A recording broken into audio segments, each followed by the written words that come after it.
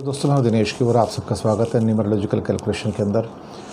भारत के अंदर जो कोरोना की जो बाढ़ आई पड़ी है इस टाइम और जिस ढंग के एमरजेंसी के हालात हैं एमरजेंसी के मेडिकल एमरजेंसी के हालात हैं आ, उसके अंदर अभी भी देखा जाए तो जो सरकार की जो ढिलाई है ऑक्सीजन के मामले में बेड्स के मामले में वैक्सीन के मामले में रेमडेसिविर के मामले में वो शोचनीय है।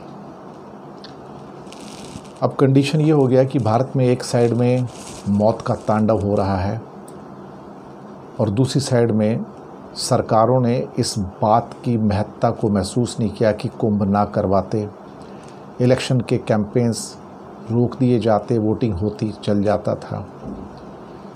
आईपीएल ना करवाते, पर शायद कहीं ना कहीं सरकार को लोकतंत्र के उत्सव की ज़्यादा चिंता है।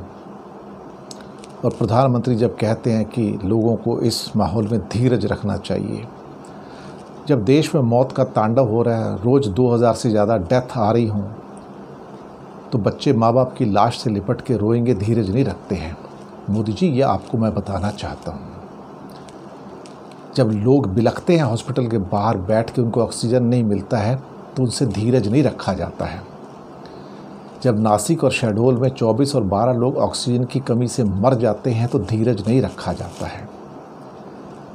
मोदी जी, शमशान घाट में धीरज नहीं रखा जाता है।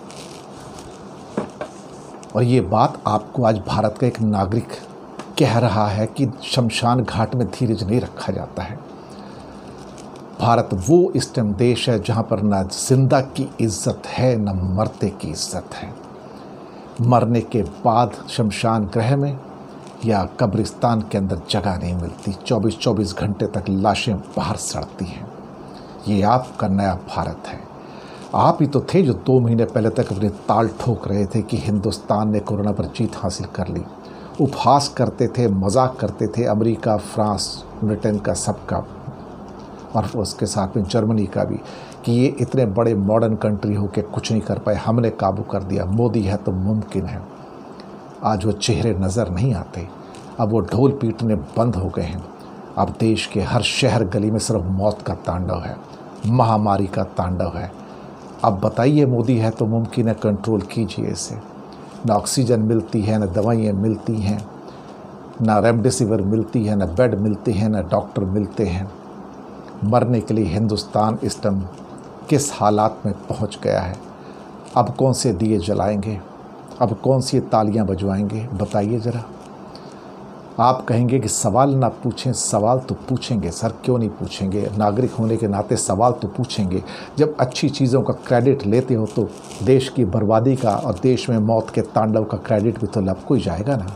क्यों प्रधानमंत्री जी? सही कहा ना मैंने। धन्यवाद आपका।